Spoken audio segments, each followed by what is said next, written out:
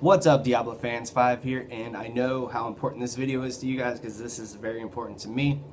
But first off and foremost, I want to thank you guys for all the support, all the subscribes. We're almost to 500, which that's going to be really awesome to hit. Um, so we can do that 24-hour live stream, which we're going to do it on YouTube most likely, um, since that's where we get the subscribes from. Um, but uh, I want to talk about the Diablo 4 or Diablo 3 on PlayStation 4 Reaper of Souls and how comfortable and how awesome it looks. It is in full 1080p, uh, 60 frames per second, so they did fix that.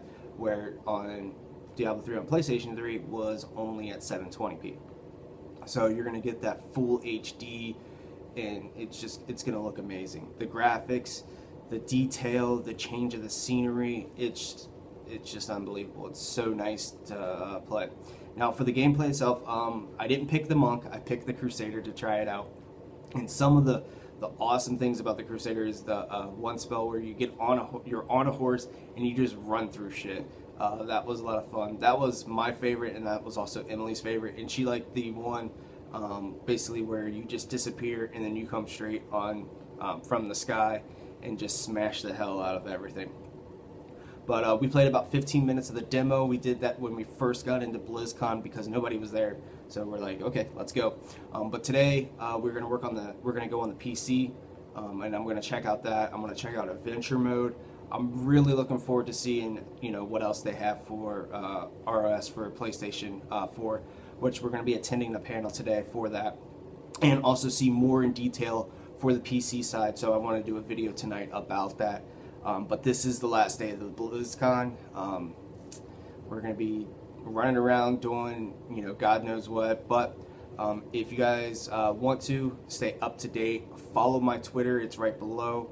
Um, I post everything on there, including pictures of what's uh, what I see.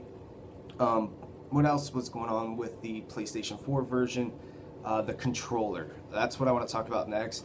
Um, PlayStation 3 controller is a little is smaller. Um, it's not made for big hands, and you know sometimes you, you get hand cramps, and sometimes it just it, playing a long period of time it gets kind of annoying. But with the PlayStation 4 uh, controller, it is much much ergonomically correct um, for my hands, and that um, it's more comfortable. It's it feels nice and it's light. Um, you know, sometimes controllers can be heavy, and you know, you just don't want to keep playing with a heavy controller, you know, for 10 to 12 to you know even eight to you know six to eight hours.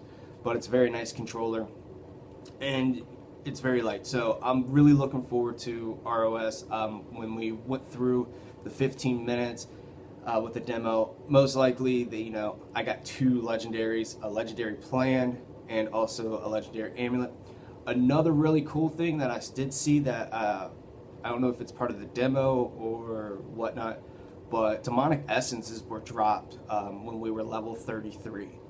So I don't know if they're changing that, um, where you can do crafting with demonic essence below level 30 or below level 60, or they're just having that you can collect them. You know, when you get to level 60, you'll be able to do you know things with that, or when you get to level 70.